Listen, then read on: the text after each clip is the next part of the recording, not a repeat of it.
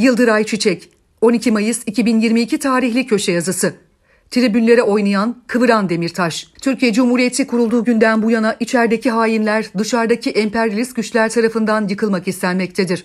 Emperyalist güçler Türkiye Cumhuriyeti'ni bölmek için bu manada 43 yıldır terör örgütü PKK'yı kullanıyor. Bu manada binlerce askerimizi, polisimizi şehit ettiler, masum insanlarımızı çoluk çocuk, kadın yaşlı demeden katlettiler.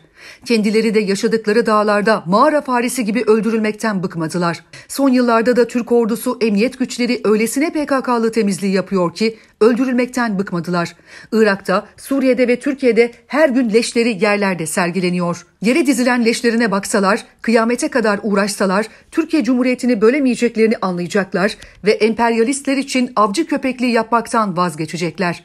Ama avcı köpekliği yapmak ruhlarında olduğu için 43 yıldır vazgeçmediler. Bunlar pusucu kahpedir. Türk ordusuyla göğüs göğüse çarpışamazlar. Ya pusu kurarlar ya yola mayın döşerler ya da gece karanlığında karakol basarlar.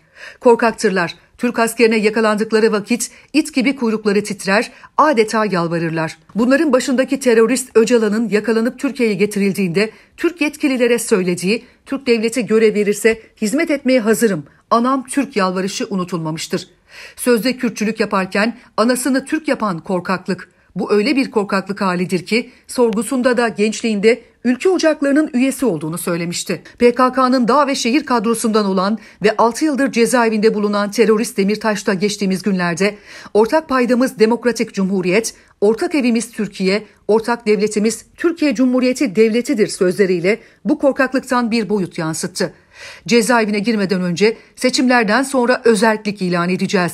Kürdistan kurulacak ana vatanım Kürdistan'dır diyen, Doğu ve Güneydoğu bölgesinde terörle mücadele eden güvenlik güçlerine gazetelere bakın büyük temizlik operasyonuymuş. Siz kimsiniz ya? Siz kimi nereden süpürüyorsunuz? Siz ancak bu toprakların kanalizasyonunu temizlersiniz şeklinde hakaret eden korkak Demirtaş, şimdi ortak evimiz Türkiye, ortak devletimiz Türkiye Cumhuriyeti Devleti'dir diyor.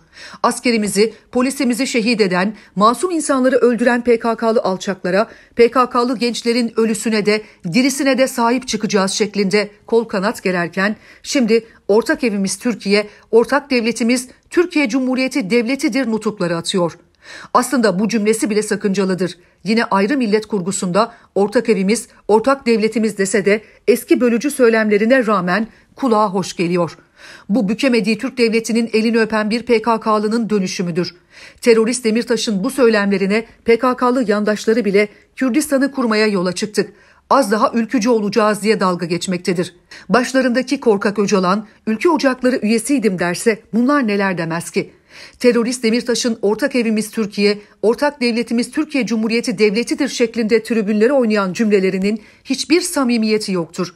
Osman Kavala'nın akıbetini yaşamamak için topluma kendini aklamayla alakalı algı çalışmaları yapmaktadır. Önce PKK'lı teröristleri azmettirerek şehit ettirdiği askerlerimizin, polislerimizin, masum vatandaşların hesabını verecek.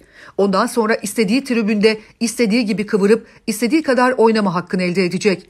Türkiye Cumhuriyeti'ni bölmek, parçalamak için PKK'lıların her kanlı eylemlerini öveceksin, destekleyeceksin. Şimdi korkudan ortak evimiz Türkiye, ortak devletimiz Türkiye Cumhuriyeti devletidir numaralarını çekeceksin. Biz sana asla kanmıyoruz katil ve terörist Demirtaş. Sen ancak sana şeref madalyası takacak olan Kemal Kılıçdaroğlu'nu, seninle kahvaltı yapacak Meral Akşener'i elinde oyuncak gibi oynatırsın. Zaten oyunuzu CHP ve İyi Parti'ye verin diyerek oyuncaklarına sahip çıkmıştın.